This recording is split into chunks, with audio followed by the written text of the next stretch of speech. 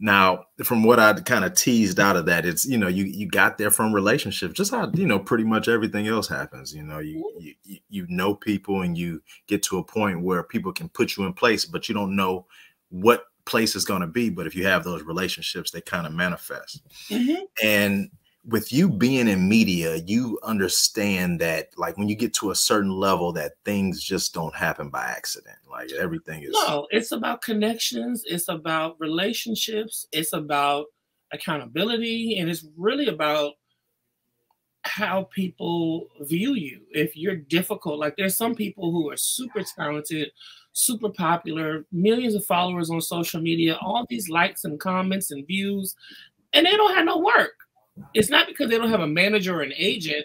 It's because they were difficult on set or they weren't nice to the people. Like I would tell people, you got to be nice to everybody, not just your cast members, but the directors, the producers, the PAs, the people that pick us up in the vans and the SUVs, people that run and get us our food and our drinks when we need it, the makeup people, the hair people, the wardrobe, like the people that does our payroll and our check.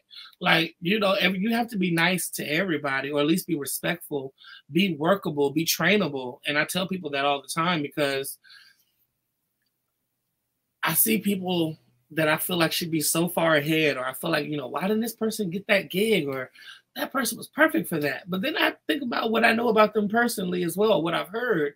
And it makes a lot of sense because, again, there's probably some people you see and you're like, well, I haven't seen that person do this and that. And I never see that person linking up with these people anymore. And I never see that person at these type of events. Well, that's for a reason you know. And with me, you never know where I'm going to pop up. I might be at the Oscars, I might be at the Emmys, I might be at the Grammys, I might be at the BET Awards, I might be sitting at Diddy's house. You never know. Like it's just a matter of the it's how you surround yourself and the energy that you put out. Cause I know I'm an energy person and I read energy very well as an Aries, and I don't like it. I ain't gonna deal with you. I don't care where you're going, what the hookup is, who we're gonna be with, who what the, where the photograph may land. I don't care. At the end of the day, when you get a certain age, it's about energy. Like, do I really want to leave a house, take a shower, get dressed, get done up to be around these certain people? You know what I'm saying? Or do I want to sit on the couch and be with my dog? Right.